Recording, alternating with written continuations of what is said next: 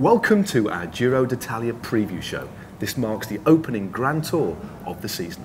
Yeah, that is that this preview show marks the opening Grand Tour of the year. But anyway, it's the 98th edition of the Giro d'Italia and it starts in the familiar town of San Remo on Saturday, the 9th of May before taking in nearly 3,500 kilometres over the following three weeks. Yeah, and over the course of that time, the riders will be heading initially south, hugging the Mediterranean coast until the southernmost point of San Giorgio del Sannio. They'll then head back up the Adriatic coast, traverse the famous Dolomite Mountains, before ultimately finishing in Milan.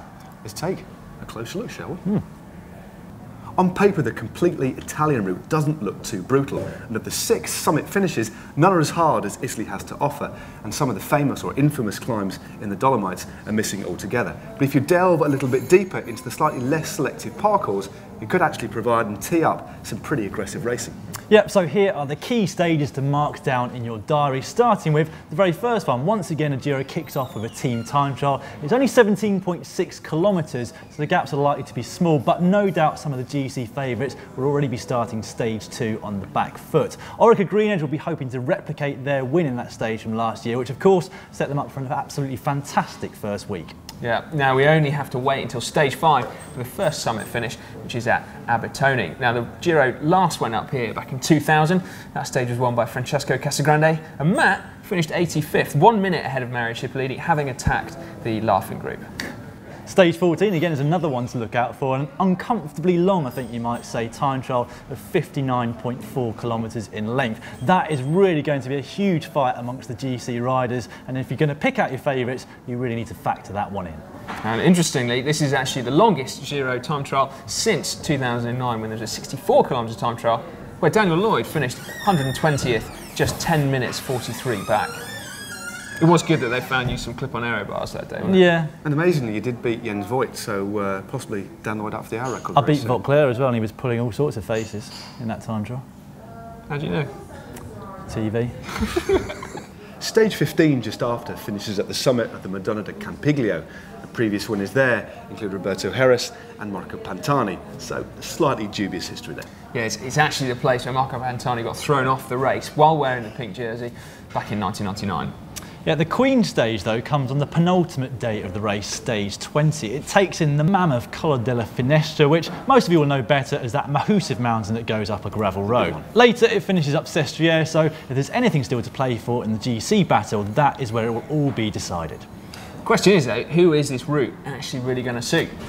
When it comes to the GC battle, though, there's one man that stands head and shoulders above the rest at the moment, and that's Tinkoff Saxo's Alberto Contador.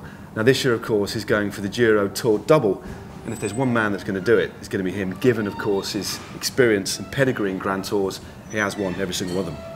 Yeah, I think though if we look at the form books just from this year, you've got to say that Richie Porte stands a really good chance of overall success. He comes to the race with a very strong Team Sky, and although in Grand Tours gone by, he's always had one bad day, which has seen him drop out of the classification. This year, one of his strengths has actually been his consistency. He's won multiple stage races already running into the race, and he's also been stood on top of the world rankings. Well, that was until Valverde took over. Yeah, let's not forget Rigoberto Urán, though, from Etixx Quickstep. He's finished on the podium in both of the last two years. And then, of course, Italy will be pinning its hopes as a nation on Fabio Aru, the young rider from Astana who uh, sensationally broke through last year. Although there is a question mark over his head. Uh, he suffered from dysentery in recent weeks, losing five kilos, which he couldn't really do, seeing as he's only 63 kilos the best of time apparently. So those are the main favourites, I guess, but you can't count out perhaps the likes of Domenico Pozzovivo, the AG2R yeah. rider. He's always knocking on the door at the Giro d'Italia, his home race. There's Ryder Hesjedal, let's not forget, mm. uh, Cannondale Garmin. He uh, won the race in 2012, and that is always there or thereabouts. I think, and also it's worth mentioning the recent young Russian winner of the Tour Romandie. Mm. Bit of a surprise winner, but uh, Ilnur Zakarin from Katusha, only like 23 years of age. I think it could be an outside bet for a top 10. Yeah, especially with that time trial that he's got, definitely. Now, quick look at the profiles reveals that there's around about six stages which looks set to be a nailed-on bunch sprint finish. And to us, there's one man who stands above all the rest when it comes to the fast finishes, and that is Andre Greipel of Lotto Soudal. Now, he's going to face competition from the likes of Palucchi of Yam Cycling, Moreno Hofland of Lotto Jumbo, Giacomo Nizzolo of Trek Factory Racing, plus a slightly more versatile duo of Michael Matthews and JJ Lobato, who will no doubt also be looking at the points competition. Yeah, and there's a couple of pretty high-profile riders making their debut in the Italian Tour. Notably, Tom Boonen of Etixx, of course, missed the classics through through crashing and injury, and then uh, Sylvain Chavanel, amazingly, uh, although he's in the autumn of his, his career, has uh, never ridden the Giro before. Now we're definitely hunting for stage wins. Absolutely. I think we also have to mention two riders that are really going to be looking to get results, and that's Simon Gerrans and Philippe Gilbert. Both, for whatever reason, have had terrible starts to this season, so they're going to be looking out for stage wins. Yeah, and one more sprinter who I left out of my initial list, Luka Mezgec, who won the very final stage of last year's race in very fine style, and who comes with a great lead-out train at Giant Alpecin.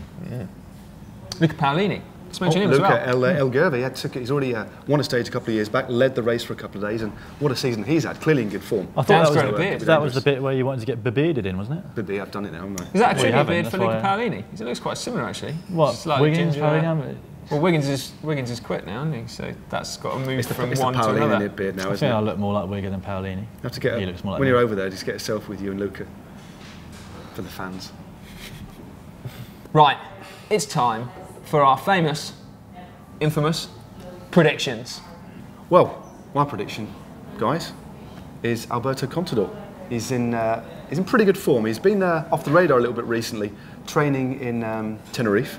I believe that he's done in the last three weeks a block of training that's actually, in terms of elevation gain, more than the Giro d'Italia, and he's pretty happy with the team that's built around him. For me, he's going to win it, but it's going to be tough. It's going to be tough. Uh, my prediction is that Orica will repeat their stage one victory. They'll let Durbo, Luke Durbridge, go across the line first, and he'll hold on to the jersey until stage three, when Matthews will take it over, and he'll have it until stage six. Who's your overall? That's there, a rubbish prediction.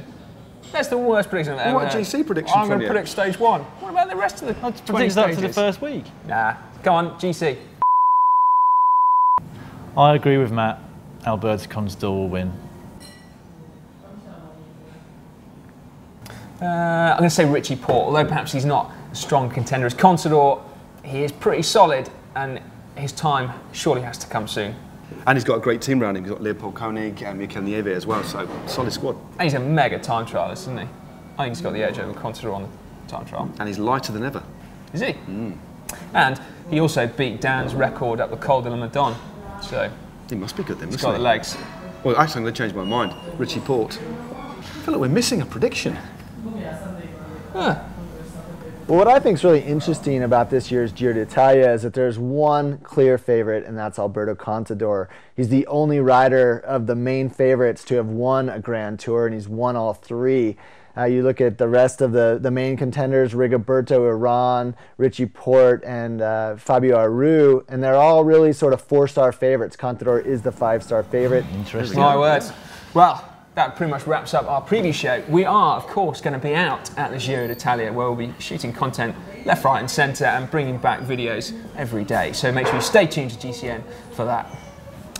Yeah, but there's another big tour going on at the same time. Tour of California for our Tour of California preview. Click up here. It's a playlist, not a preview. Yeah, I a think it's it's a over there, is playlist, it? it I think it's that way. Yeah, it's that Uh, way. and also, if you haven't already caught up with this week's GCN show, you can find that by clicking down there. Featuring us in different coloured t-shirts. But in a very similar setting. Just over there, in fact. Hey guys. It's all That in the middle. That looks funny, doesn't it? Your hair looks funny over there. It's like a skinny Luca Paolini. What's that? Your hair looks funny in that one. You look looks better. than- I've spent a bit the of time quaffing it since then. Don't look so hot over there. Who? You. Oh, it's And cooler not layered in up. a black t-shirt, jumper. it's drizzling as well out there now. Do you think anyone's still hanging around to subscribe to the channel? or not? No. Oh yeah, to subscribe to GCN, click on any one of us. If you're still here. If you're not, Click on pink. Oh, no, all blue. You can probably like the video if they're yeah, still, in if now. Still here. Like the video. I bet it's like waiting for the end of like a Marvel film, isn't it? So there's going to be like a, a sort of an exciting Easter egg at the end, but there isn't. It's just us sat here waffling on.